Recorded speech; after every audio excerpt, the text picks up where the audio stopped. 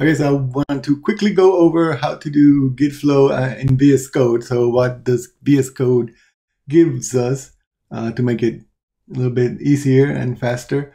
This is using this extension here. This is the GitHub issues and pull requests extension. I think you have to install that. And, uh, you know, first time set it up using your GitHub username and password. And then you can click over here. Uh, once I, am already in a project here, learn, show you the, uh, the repo here. So this is the repo. It's just a README and it's got some issues here. And as you can see over here, uh, when I go to the tab, I can see um, my issues. I don't have any issues assigned, and there are three issues here. Uh, so the first thing is, well, I want to show you this. You can create an issue from here if you use the magic word to do colon or uh, there's some other words you can use like uh, fix me, I think. So click on the little light bulb, create GitHub issue. It asks uh, what title you want for the issue, how to do git flow in VS Code. Uh, let's call demo this. Enter, and um, it worked. I hope. Let's go.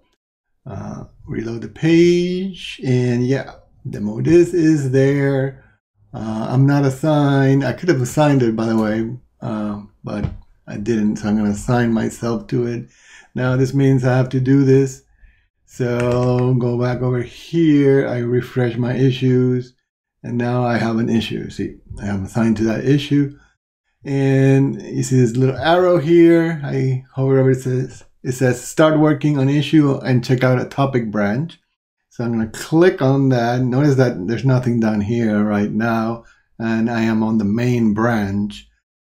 I click on that and uh, and now it tells me I'm working on issue number six, demo this, and it created this branch, uh, which is you know my username and issue six. So the name of the branch is issue six, and you can totally change that in the settings if you want. You know you can create your own, and typically people use like the title uh, for the uh, branch name, but whatever. Uh, for now, we'll just use that. That's the default. And uh, I'm to do my work. So I am demoing this. Uh, I can say uh, add a poem here. And let's say, you know, I'm just to break this into several commits. So I'm done for today. I'm going to commit this to my branch. So I go, as usual, go to over here you see it already populated the comment. It says demo this, fixes number six. So uh, this assumes really that, you know, I'm done with issue six, but I'm not done yet. So I'm just going to edit that, you know, start it. Work on it. Probably not a good comment. Uh, add that to the stage. Um, didn't want to do that. So add that to this now stage and commit it. Uh, oh, I forgot to save the file. Yeah, I always do that. Uh, and uh, so I was committed. I can publish it. So push it up to GitHub. It says, do you want to create a pull request? No, I don't want to. I'm not done. Uh, I mean, I could, but I don't want to right now. We'll do it next time. So you see, because I put the number six here, on the issue, demo this, it puts my commit right there. That's because I put that number six, GitHub knows to associate uh, this commit, which I just did with this issue. So it shows up right there. You know, that's nice. Anybody can come here and see, you know, yeah, he started work on it. Not done yet though. So uh, let's continue working. It's the next day. So uh, once upon a midnight uh, there we go. Uh, we're GitHub Copilot is awesome. And uh, you see, see how good I'm typing? Yep. Okay. Only this and nothing more. We're not done yet. Ah, distinctly remember. Okay. So let's say we're done right there. And again, now I want to commit it. Go back to source. Whoops. Go back to source control. I gotta save my file. That's why it's not showing up there. And you see the little message is no longer in the commit, which is annoying.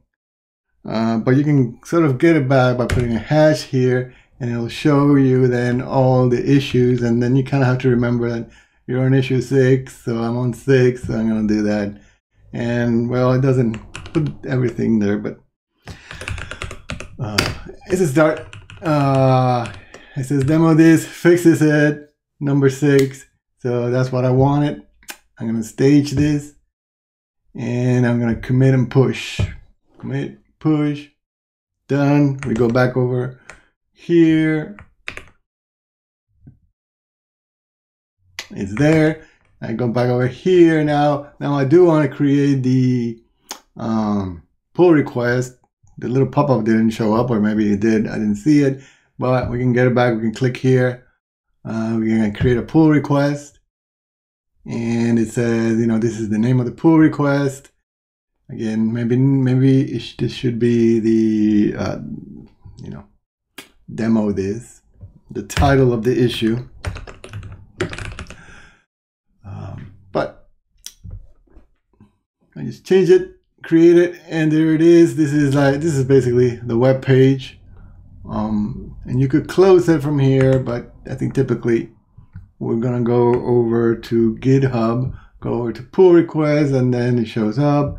Demo this, and there's my pull request uh, with the two commits. Ready to commit it. You know, merge that pull request, merge it into my main branch.